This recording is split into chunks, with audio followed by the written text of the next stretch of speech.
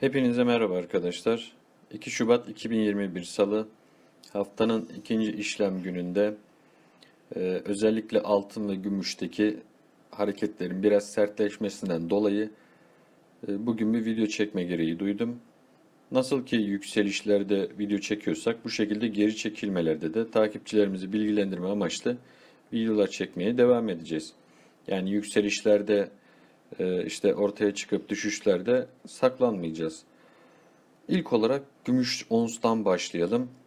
E, hafta sonu yapmış olduğumuz analizde e, gümüşün teknik göstergelerinin pozitif olduğunu söylemiştik sizlere ve gümüşte bir yükseliş beklediğimizi söylemiştik.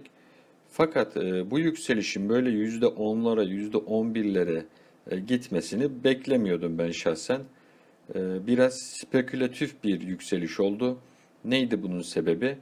Ee, Reddit kullanıcılarının yani Wall Street Bets dediğimiz örgütün hani bu bahsetmiştik Amerika'da GameStop e, hisselerini yükselten grubun gümüşe de girdiği iddiaları ortalığı karıştırdı ve pazartesi günü e, sert bir şekilde yukarıda gaplı bir açılışla açtık biz. Normalde bizim şurada 28'de ee, bir direncimiz vardı.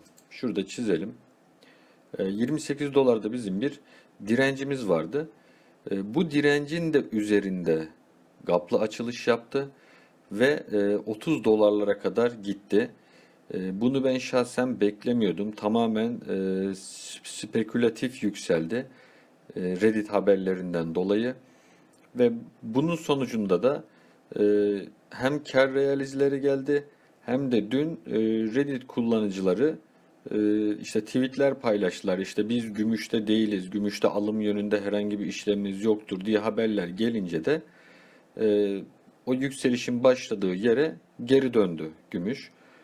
Olması gereken de buydu zaten. Hani biz gümüşte göstergeler pozitif diyoruz.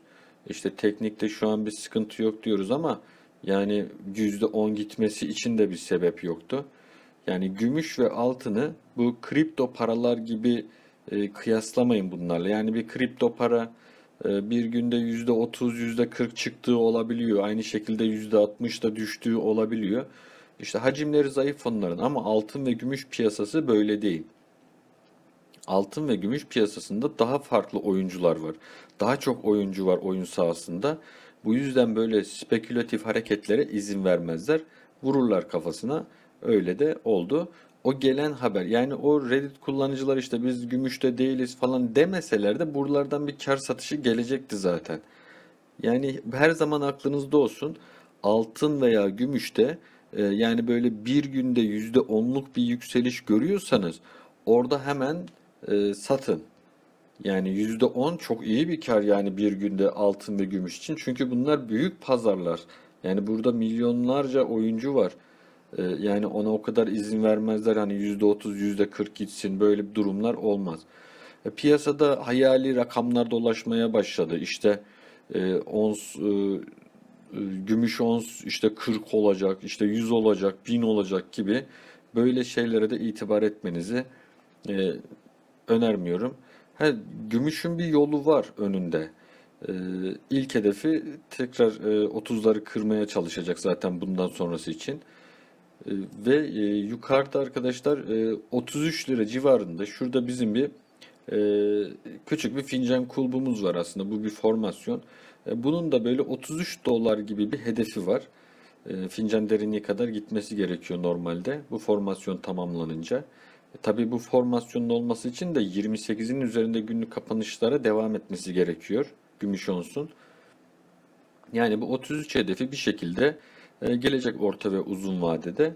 E, fakat böyle hayali ve afaki rakamlara, e, algılara kapılman, kapılmamanızı şiddetle öneririm. Yani hani işte gümüş 40 olacak, 100 olacak diye varınızı yoğunuzu da gümüşe yatırmayın. Her zaman sepet mantığını bırakmayın. Sepet yapmaya devam edin. İşte sepetinizde hisse de olsun, dolar da olsun, altın da olsun, gümüş de olsun, Türk lirası da olsun. Evet, teknik yönden baktığımızda e, gümüşte e, bir geri çekilme görüyoruz. Bence bu gayet normal yani. Aa niye düşüyor demiyorum ben bunu. Çünkü yani az önce anlattığım sebep yani %10'luk bir yükselişe Neden olacak e, bir gerekçesi yoktu bence gümüşün. E, geri geliyor. Geri gelmesi de normal. E, ha buradan gümüş tekrar göçecek falan diye de bir durum yok. Bu da e, yanlış anlamayın bunu. Hani gümüş şu an göstergeleri pozitif. MACD hala al pozisyonunda. RSI 70'ten dönmüş. Bakın satışın geldiği yerde de RSI tam 70'ten dönmüş. E, bu da çok güzel sinyal vermiş aslında. Hani kar realizesini buradan yapın diye.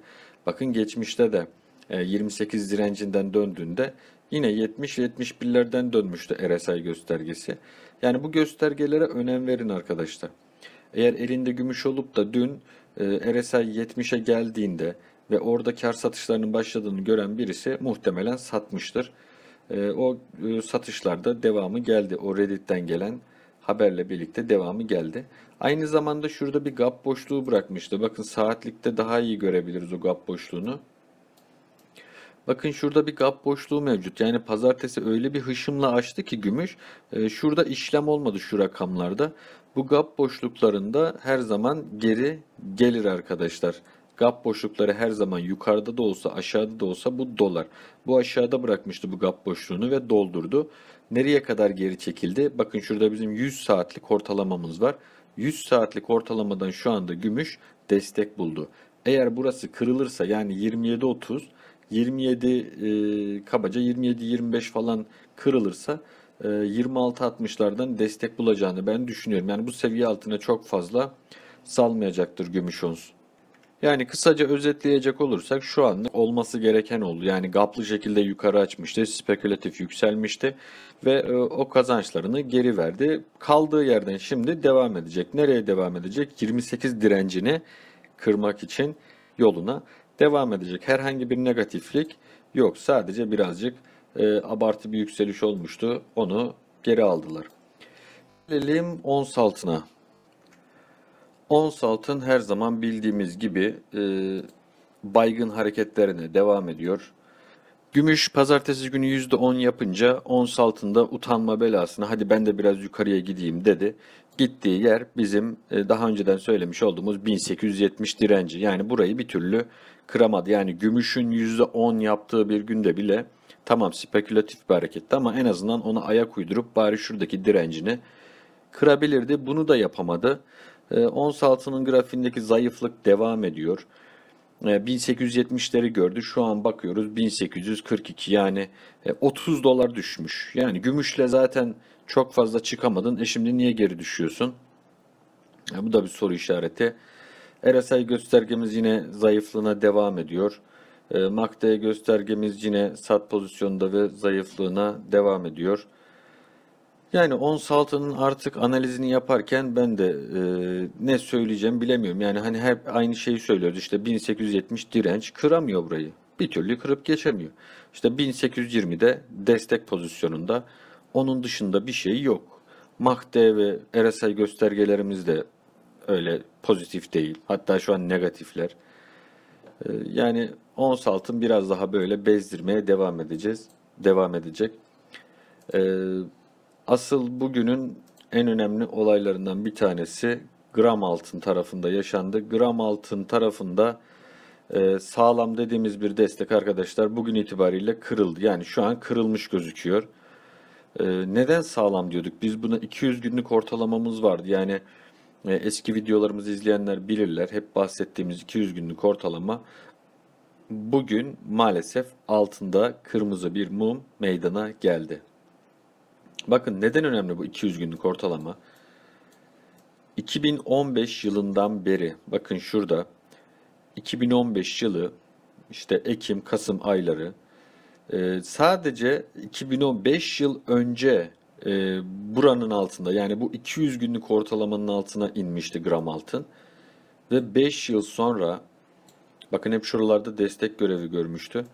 5 yıl sonra ilk defa yine gram altın 200 günlük ortalamanın altına indi. Ve muhtemelen buralarda biraz gezinecek gibi. Yani 200 günlüğün üzerine tekrar atması biraz zaman alacak gibi. Eğer 200 günlük ortalamanın üzerinde kalmayı başarabilseydi e, bir umut ışığımız olacaktı. Fakat 200 günlük ortalamanın da altına kırılınca e, bizim bir sonraki takip edeceğimiz destek daha önce yükseliş başlamadan önceki direnç pozisyonunda olan 396 seviyesi. Peki bu 396 seviyesi için buralardan stop olunur mu? Ee, biraz riskli bir hareket olur bu. Yani işte 420'den işte bozdum. Niye? İşte 396'dan işte kabaca 400'den alacağım diye. Yani 20 lira daha uyguna alacağım diye hani buralardan da e, bozulur mu bilmiyorum. Uzun vadeciler zaten dokunmuyorlar hiçbir şekilde. E, yani kısa trade etmek isteyenler edebilir. Yani 200 günlük ortalamamız bizim stop bölgemiz aslında 430 seviyesi. E, buralarda stop olan için hani aşağıda e, maliyet düşürme amaçlı 396'lar e, güzel alım yerleridir diye düşünüyorum. Fakat dediğim gibi e, bu şekilde kısa trade etmek isteyenler, kısa vadeli alsat yapacağım diyenler e, tabii riskli de bu. Yani siz 430'dan işte 425'ten stop oldunuz. Nasıl olsa 400 gelecek diye hiç belli de olmaz o. E, çünkü şurada bir RSI göstergemiz var bizim. Şu anda 27'lerde geziyor. Bakın o kadar çok dipledi ki. Bakın daha önce de şurada e, 2018 yılında diplemişti bu RSI göstergesi. Bakın 2 yıl önce Kasım ayında diplemişti. O doların göçtüğü yıl. işte 7.23'lerden e, 5.15'lere geldiği yıl. E, yine aynı şekilde dolar bazlı dipledi ve aynı seviyede e, hatta o aynı seviyenin de hemen altında yani buralardan çok da aşağılara gelmesi de e, biraz aslında mantıksız. Ama dediğim gibi 200 günlük ortalamanın kırılması gram altında pek hoş olmadı. Artık bundan sonra takip edeceğiz. Tekrardan 430 TL üzerine atmasını bekleyeceğiz gram altında. Şu anda RSI göstergemiz negatif. MACD göstergemiz negatif. Yani bunları söylerken e, ben keyif almıyorum. E, çünkü benim de yatırımım var. Ama teknik ne diyorsa onu da söylemek zorundayız. Yani yapacak bir şey yok. Burada çıkıp da ben işte yalan konuşacak halim yok. Göstergeler bunlar arkadaşlar negatif. Aşağıda 396 gibi bir rakam var. E, uzun vadeciler için zaten herhangi bir sorun yok. Olay bu yani hani artık e, bekleyeceğiz. Ben zaten her videomda şunu söylüyorum. Özellikle dolar yatırımcısı ve gram yatırımcısı için en azından Mart ayının görülmesi taraftarıyım. Çünkü Mart ayında bazı gelişmeler yaşanacak. Bunlardan önceki videolarımda bahsetmiştim. Bu yüzden hem dolar yatırımcısı için hem de altın yatırımcısı için Mart ayının görülmesinin, beklenmesinin e, daha iyi olacağını düşünüyorum. Bugünlük de videomuz bu kadardı arkadaşlar. Sorularınız varsa bana yorum bölümünden ulaşabilirsiniz. Videoyu beğendiyseniz beğen butonuna basmayı ihmal etmeyin. Eğer abone değilseniz abone olmayı ihmal etmeyin. Hepinize bol, bereketli kazançlar diliyorum. Sağlıcakla kalın, hoşça kalın.